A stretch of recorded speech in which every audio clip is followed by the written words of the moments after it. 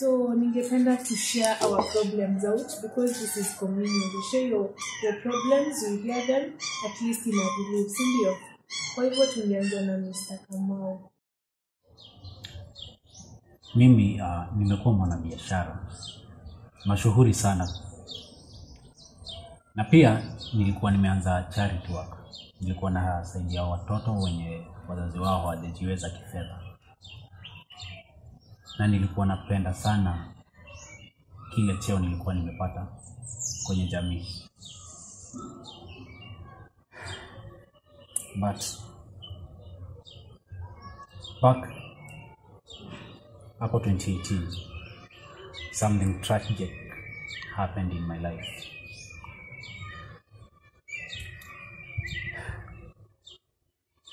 I raped my daughter uliona tu mtoto ya wanakuanga serious. Pana ungekuwa kama mruya wetu pana kocha kutoka kwa matanga. Kila mtu Yule jamaa amerepu mtoto yake. Ungekuwa village yetu ungekufukuza tu kwa village yetu ungekuanga mzee. Bana mzee hiyo ni tabia mbaya i'm sorry that's why i'm here. You are sorry? And i want to offload this burden. Sorry ni Mungu anaambiangwa si sisi.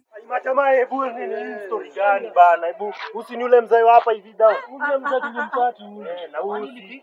Usi ni yule mluya. Yule mjango mwingine. Hii news ni Facebook live. Live bana. Wewe? Mzee, akili yako ilikuwa noma ukifanya hivyo.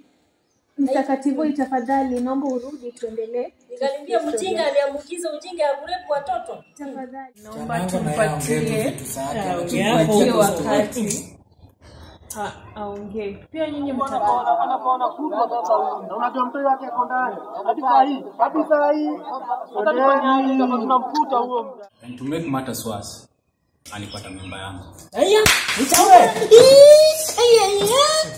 Eh, wewe. Utaniambukiza ujinga. hata nimekosa kitu cha kukuambia pa Ah, mzee, tafadhali tuendelee.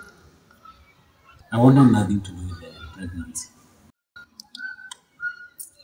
So nikamwambia about lakini angekubali. nataka uwe mtoto So alipotea, akaenda akapata mtoto. Na akaenda kumtupa kwa dump lakini raia inakuongarana so walimshika wakampeana kwa authorities. I'm so sorry that I had to sacrifice my own blood Hata kilifaiziwa na Mungu.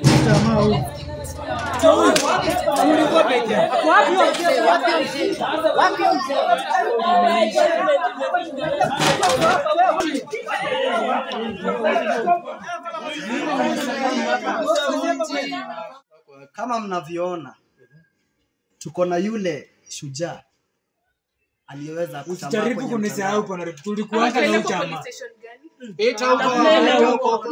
ulifikiriaje kuweza kurekodi hii mambo kwenye mtandao wa facebook Nikaenda tu kazimu kwa Mungu. Sikuwa najua na rekodi mtu kwa Facebook. Hata sijui natumia yangu anje kurekodi kama mtu. so ni, ni simu tu ulipata kamchecheto kaamua ku Naingia tu kwa Mungu nikarudisha tu alitumia Nimechanja Cynthia. mmepata kusikia maoni kutoka kwa Ndio, ndio, tumesikia, tumesikia. wakati kama mnavyosikia ushujaa haitafutwi na mashujaa wenyewe. Ushujaa ndio inawatafuta kama bwana kativoya